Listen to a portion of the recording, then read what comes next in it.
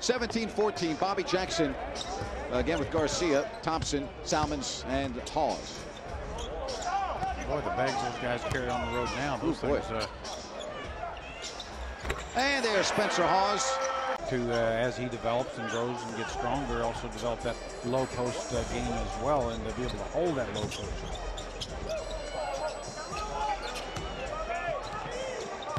And here he is on the block. Goes to the jump hook. Now, there you go, right, Jerry? That's in shape. I mean, I, I, I mean, really. I mean, I don't think you probably you're still in shape, actually. So it's one of those things. It's easier to stay in shape than to get back into shape. Yep. If you always do it, then it becomes routine, and you kind of miss out on something when you don't go out and work out. Oh, how about Spencer Hawes bouncing back? Strong, and that, that's not going to change. I mean, 285 is 285, and uh, Spencer's I think barely 230. And when he's trying to push Greg Oden off that box and moving that 300 pound of body is not going good things are happen most of the time. 10 minutes into this, or 10 minutes left rather in this first half. Bobby Jackson in the backcourt. Garcia with Green. Spencer Hawes, Jason Thompson. Spencer.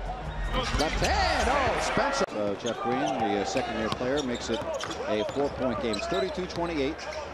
Yeah, Thunder scoring too easy around the basket again, as we see a nice little cut by Garcia, but uh, In the post, if he learns how to play in the post, he'll also learn how to defend in the post, and that'll protect his outside defense because people won't just try to shoot jump shots on him all the time. Oh, look at Spencer Hawes.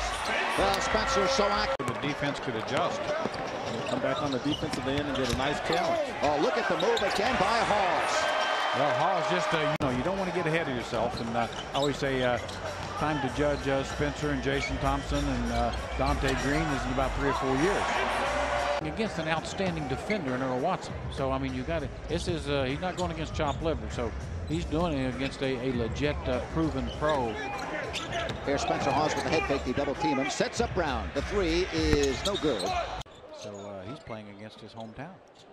Played high school uh, legend in that area. Hawes a three. Oh.